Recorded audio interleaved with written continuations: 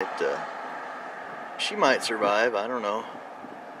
I got a doe permit, but my doe permit's got to be within three miles of the river.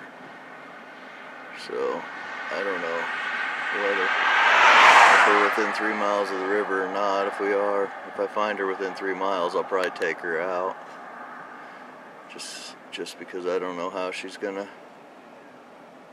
survive when we get a quite a bit of snow. But we've already had probably four or five inches, and she looks like she's doing all right.